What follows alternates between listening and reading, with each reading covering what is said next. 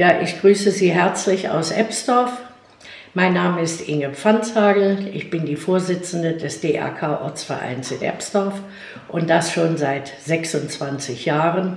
Es ging mal ganz klein los mit wenig Veranstaltungen im Jahr. Da haben wir im ganzen Jahr vielleicht acht Veranstaltungen gehabt und heute haben wir manchmal an einem Tag acht. Wenn einem die Arbeit Spaß macht, egal welche, dann fällt es einem auch relativ leicht, das zu tun.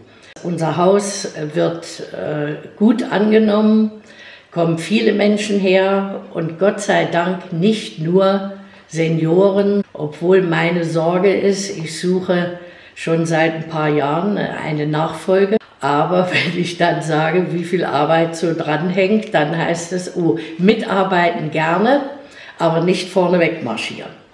Ich will noch mal äh, dazu sagen, oder etwas dazu sagen, was einen Vorsitzenden oder eine Vorsitzende hier zu erwarten hat.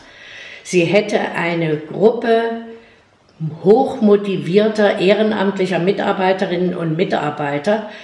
Also ich als Vorsitzende oder ein Vorsitzender äh, könnte alleine hier nichts bewirken. Man ist darauf angewiesen und das klappt bei uns in Ebsdorf Gott sei Dank hervorragend. Und dafür bin ich sehr dankbar.